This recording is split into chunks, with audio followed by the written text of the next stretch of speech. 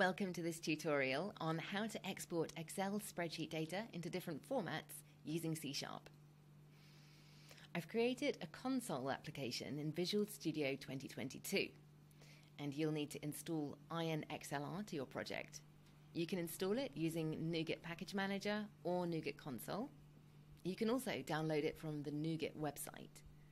And just make sure that you're installing the latest version of Iron for better results. So let's move to the code file.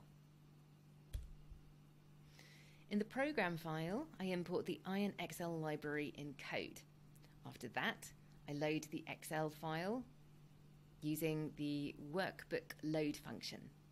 For the function arguments, I'll provide the path of the Excel file which I want to export. So this is the Excel file which I'll convert to different formats, and it has columns with different values and formatting.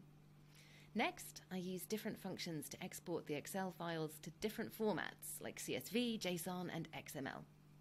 I use the save as CSV, save as JSON, and save as XML functions to export Excel files to their respective formats. For the argument, I give the path of the save file. So let's run the project and see the output.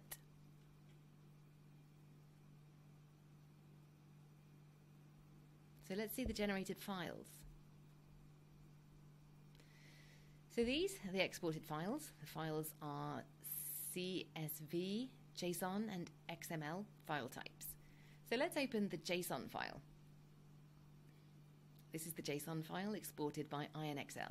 It has the same data as the Excel file, and you can use it anywhere that you'll need to use a JSON file. So let's open the CSV file now. This is the CSV file exported by IronXL. The data is preserved beautifully. The formatting is the same as in the original Excel file. And you can use it in any project where you'll need to use a CSV file. So now let's open the XML file. This is the XML file exported by IronXL, and you can use this XML file in any web page where it's needed. Overall, IronXL is the best Excel library to use. I hope you found this tutorial useful, and if you need any further help, our support team is standing by to help.